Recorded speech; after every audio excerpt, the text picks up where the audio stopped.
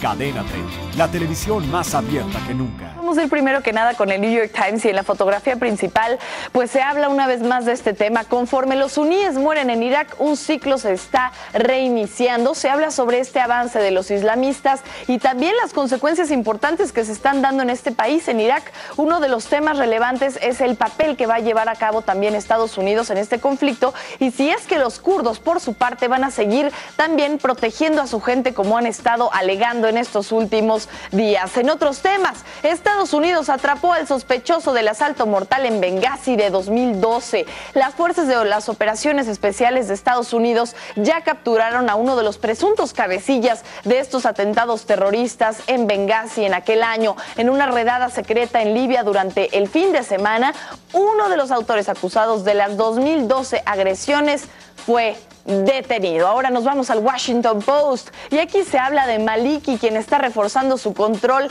en el poder. Como no, este líder de Irak se está haciendo sentir a través de sus políticas en este país de defensa y también procura cuidar a su territorio del avance de estos opositores radicales que han tomado ciudades importantes como Mosul. Y mientras tanto, ¿sabe quiénes son una pieza clave? Pues los voluntarios. Los voluntarios que también son armados y son parte fundamental de este estrategia, mientras que también eh, pide ayuda internacional. En la fotografía, Estados Unidos captura al sospechoso de Benghazi. Una vez más se retoma este tema. El líder y fundador de la agrupación terrorista islámica lo tiene ahí en pantalla con una de las fotografías. Eh, y bueno, de este grupo que se llama Ansar al-Sharia. Él es Ahmed Abu y bueno, fue detenido el domingo, como le digo, en territorio libio en una operación secreta en la que ni siquiera se registraron víctimas y se esperaba ya desde el día de ayer que sea procesado en un tribunal de los Estados Unidos. Ahora nos vamos hasta Europa, en España,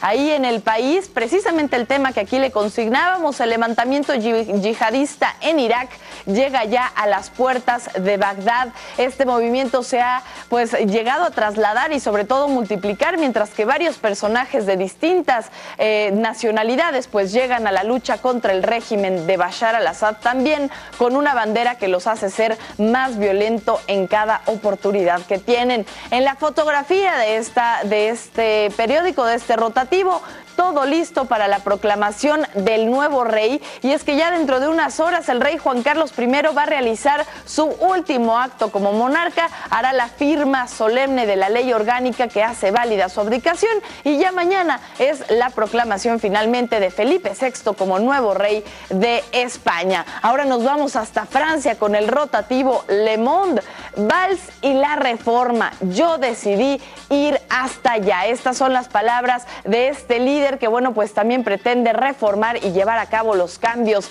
que son necesarios en ese país. En la fotografía del día de hoy tiene Kirkuk, pues un cordón de protección kurda contra los yihadistas. Es una vez más este rol que tienen los kurdos para proteger a su país, mientras los suníes opositores o rebeldes, como se les quiera llamar, hacen este, este papel de terroristas y mueven no nada más a Irak, sino al mundo entero.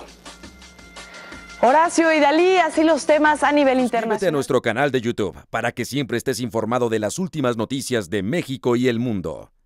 Empieza ahora mismo dándole clic a estos videos.